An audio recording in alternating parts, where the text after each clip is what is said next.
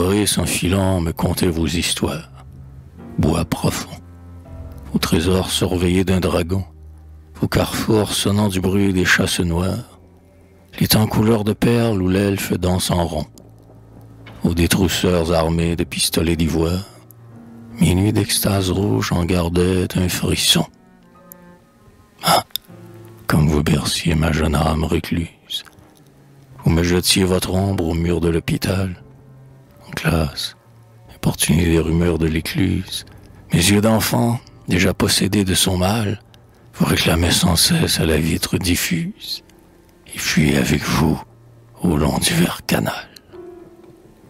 Vous étiez le plaisir de mes libres dimanches, quand j'épiais de mon lit d'herbe, émerveillé, l'éternel fierté éclose sous les branches, tandis que j'écoutais l'oiseau bleu gazouiller, Cendrillon, au galop de six cavales blanches, passait, au loin, dans son carrosse armorié. Les contes de Perrault se mêlaient dans ma tête, au récit merveilleux de Madame d'Aunois.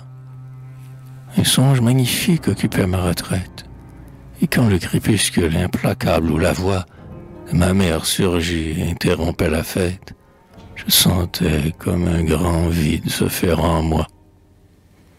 Plus tard, à la caserne, où se noie ma chaîne, excédée des fracas du cuir et du tambour, je vous voyais fleurir au verger d'alentour, et votre seule image adoucissait ma peine. Vous qui favorisez d'une odorante haleine la province endormie à l'ombre de ses tours. Mais comment vous plongeait ma lassitude immense, les lourdes nuits d'été défaillant de chaleur, vous étiez les témoins de mon impatience, quand du fond de mon être, implorant le bonheur, je croyais, dès qu'un pas sonnait dans le silence, le reconnaître au coup déréglé de mon cœur.